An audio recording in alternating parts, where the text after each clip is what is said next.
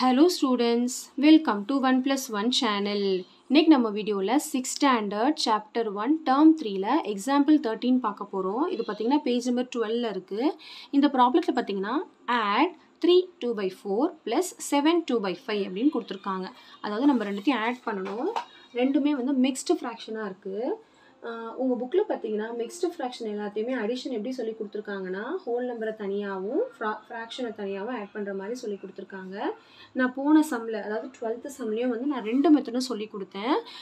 இப்போ வந்து நான் ஒரு மெத்தட் தான் போட போகிறேன் அதாவது மிக்ஸ்டு ஃப்ராக்ஷனை இம்ப்ராப்பராக கன்வெர்ட் பண்ணி எப்பயும் போல் ஆட் பண்ணுற மாதிரி போட போகிறேன் நீங்கள் வேணும்னா உங்கள் புக் மெத்தட் ட்ரை பண்ணி பாருங்கள் ஓகே ஸோ ரொம்ப சிம்பிள் மிக்ஸ்டு ஃப்ராக்ஷனாக இருக்கிறதுனால நம்ம ஃபஸ்ட்டு மாற்றணும் இப்போ இது ரெண்டுத்தையும் மல்டிப்ளை பண்ணிவிட்டு வர ஆன்சரோட இதை ஆட் பண்ணணும்.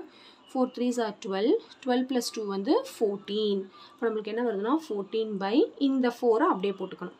Next plus seven five are thirty five thirty five plus two வந்து தேர்ட்டி செவன் பை இந்த ஃபைவை அப்படியே போட்டுக்கணும். இப்போ ரெண்டுமே ஃப்ராக்ஷன் மாறினதுனால டினாமினேட்டர் செக் பண்ணணும்.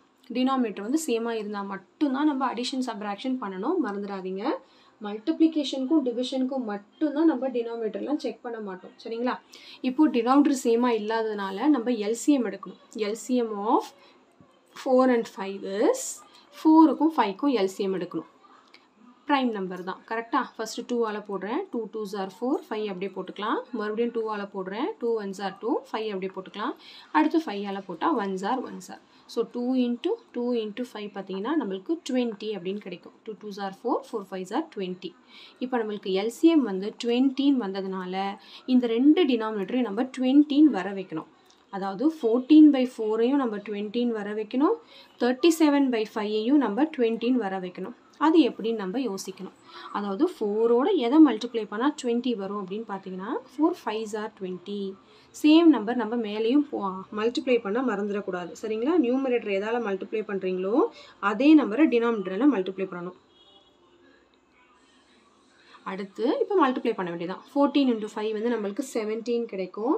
Seventy by four fives are twenty அடுத்து இது பார்த்தீங்கன்னா ஃபைவோட ஃபோர் மல்டிப்ளை பண்ணால் நம்மளுக்கு டுவெண்ட்டி வரும். சேம் நம்பர் இங்கே மேலேயும் மல்டிப்ளை பண்ணேன் இப்போ தேர்ட்டி செவன் இன்ட்டு ஃபோர் பண்ணுங்கள் four sevens are twenty eight eight balance two four threes are twelve twelve plus two வந்து fourteen so hundred and forty eight by five fours are twenty இப்போ பார்த்தீங்கன்னா ரெண்டு denominator same ஆயிடுச்சு. So just like that நம்ம add பண்ணிட வேண்டியது தான் seventy by twenty plus hundred and forty eight by twenty so add பண்ணுங்கள் ரெண்டு டினாமினேட்டரும் சேமாக இருக்கிறதுனால அந்த டினாமினேட்டர் ஒன் டைம் நம்ம போட்டுக்கலாம்.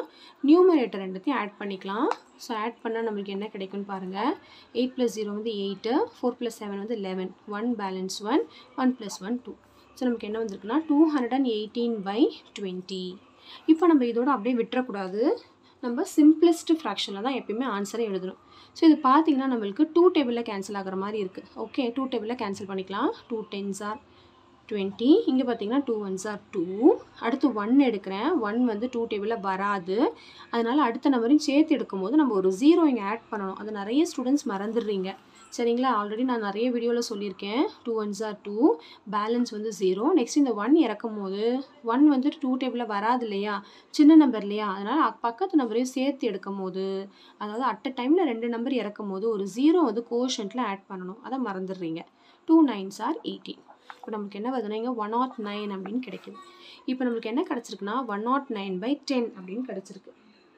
இப்போது இதை அப்படியே விட்டுறக்கூடாது. இது வந்து என்ன ஃப்ராக்ஷன் இம்ப்ராப்பர் ஃப்ராக்ஷன் கொஷின் வந்து மிக்ஸ்டு ஃப்ராக்ஷனில் தானே இருந்துச்சு. அப்போ ஆன்சரையும் நம்ம மிக்ஸ்டு ஃப்ராக்ஷனில் தான் எழுதணும். ஸோ டென் ஒன் ஜார் வந்து டென் அவ்வளோதான் அடுத்து நைன் இறக்குறேன். நைன் வந்து டென் டேபிளில் வராது. ஏன்னா சின்ன நம்பர்லேயே அப்போ நம்ம ஜீரோ ஆட் பண்ணிக்கணும். அவ்வளோதான் அதாவது டென் ஜீரோ சார் ஜீரோ அப்படின்னு வரும். அதாவது நயன் தான் ரிமைண்டர் ஸோ நம்ம எப் எப்படி எழுதணும்னா க்யூ ஆர் பை டி அப்படிங்கிற ஃபார்மில் எழுதணும். இதில் இதுதான் க்யூ இதுதான் ஆர் இதுதான் டிவைசர் ஸோ ஆன்சர் பார்த்தீங்கன்னா டென் நயன் பை டென் அவ்வளோதான் போர்ஷன் வந்து டென் ரிமைண்டர் வந்து நயன் டிவைசர் வந்து டென் அந்த ஃபார்மில் கண்டிப்பாக எழுதணும் நம்ம ஃபைனல் ஆன்சரில் சரிங்களா? ஸோ ரொம்ப சிம்பிள் தான். கண்டிப்பாக இந்த மிக்ஸ்டு ஃப்ராக்ஷன் கொடுத்தாலே இந்த மெத்தட் ஃபாலோ பண்ணுங்கள் அப்போ தான் உங்களுக்கு வந்து மிஸ்டேக் வராமல் இருக்கும். சரிங்களா? ஸோ கண்டிப்பாக இந்த சம் வந்து நல்லா உங்களுக்கு கிளியராக அண்டர்ஸ்டாண்ட் ஆயிருக்கும்னு நினைக்கிறேன். நீங்களும் நிறைய ப்ராக்டிஸ் பண்ணி பாருங்கள் அப்போ தான் உங்களுக்கு ஈஸியாக இருக்கும். மேக்ஸ்னாலே டெய்லி ஒரு மூணு சம்மாவது ப்ராக்டிஸ் பண்ணணும். அப்போ தான் நம்மளுக்கு வந்து அது ஈஸியாக இருக்கும் சரிங்களா so thank you so much for வாட்சிங் ஸ்டூடெண்ட்ஸ் பாய்